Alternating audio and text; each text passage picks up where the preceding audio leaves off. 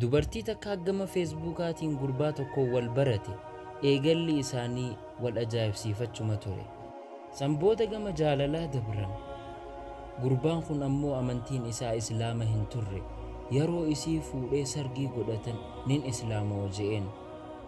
Dirhama kuma kudhan ergee fi waan doolaara hedduu dhiyaatu akkana je'een. Onnee teetii fi kalee tee akkasuma dhiiga keetillee maraan marsiisii. Isiinis akkana jetteen dhiiga kiyya qofa qorachiisa.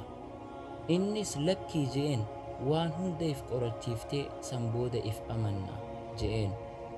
Waan inni je'een hunda gootee qorannoo ergiteef ammas deebisee doolaara kuma sadi ergeef.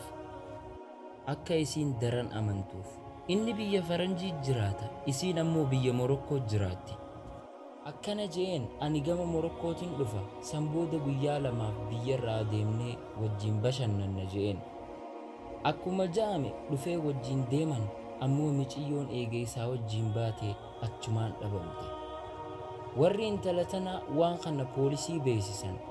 Guyyaa sadi booda poolisiin bilbiltee warratti miciyyoo agarre ja'aniin. Ammoo reefka qofa agarre ja'aniin. Kan qaamni isii tokkollee bira hin jirre. Gurbaan isii wajjin turte hoggaa qorannoo gaggeessan warra qaama namaa gurgururraahe. Qorannaa qaama isii akka if laalchistu wanni godhaa tureef addaan baruu fi qaamni isii hangamtu fayyaa qabaa dhiigni isii yoo kan akkamii addaan baruu fi waan hunda addaan baafatee qaama isii takka takkaan guuree fudhachuuf.